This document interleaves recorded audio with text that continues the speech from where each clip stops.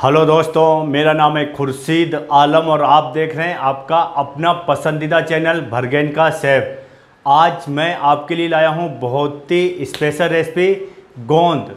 ये गोंद मेरे गाँव की रेसिपी और ये बहुत ही स्पेशल है। आप इसको ड्राई फ्रूट का हलवा भी बोल सकते हैं, लेकिन असली नाम इसका गोंद है। अब हम बनाना स्टार्ट करेंगे। गोंद बनाने के लिए हमें इन सब चीज़ों की ज़रूरत है। मैं आपको इसका मीजा सबसे पहले दिखा देता हूँ ताकि आप अच्छे से बना सकें। गरी, किशमिश, बादाम, चीनी, काजू, चिरौंजी और ये है गोंद।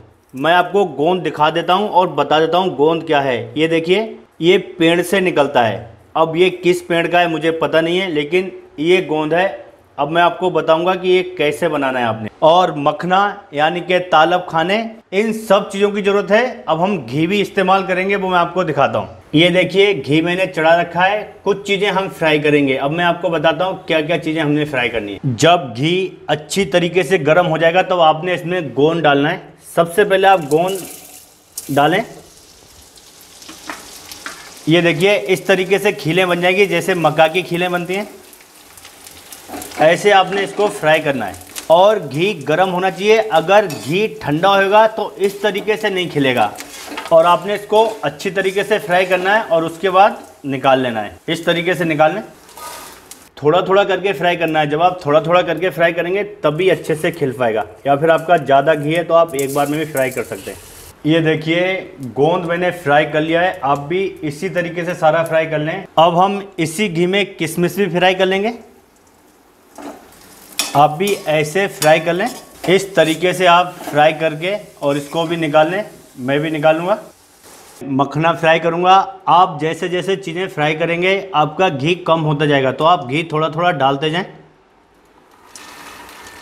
और मैं घी इसमें इसलिए कम डाल हूँ क्योंकि बाद में ये घी ना काला पड़ जाएगा, क्योंकि हमने गोंद फ्राई किया है। तो आप उतना ही घी डालें जितना आप यूज़ करें। थोड़ा थोड़ा करके डाल लें। आप मखना निकालने से पहले एक बार चेक कर लें एकदम कड़क हो जाए, तभी आप निकालें। अब मेरे कड़क हो चुके हैं, मैं निकाल लूँगा इस तरीके से फ्राई करने के बाद आपने इनको ठंडा कर लेना है। जब तक ये ठंडे होंगे, तब तक हम बादाम पीस लेंगे। मैं मिक्सी में पीसने वाला हूँ। आप चाहें तो इसको इमाम दस्ते में भी कूट सकते हैं। पहले इसको इमाम दस्ते में ही कूटते थे, लेकिन आजकल हमारे पास फैसिलिटी है मिक्सी की तो हम ये मिक्सी में डालेंगे।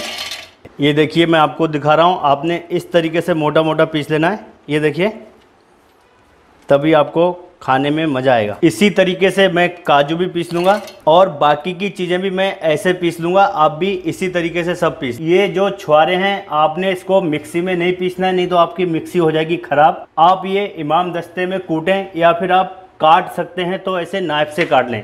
मैं नाइफ से काटने वाला हूँ आप भी इसी तरीके से काट लें। इस तरीके से आपने काट लेना है। ये काटने के बाद ऐसी एक थाली में आपने गोंद डालना है और इसको आपने ऐसे हल्का हल्का मार लेना है।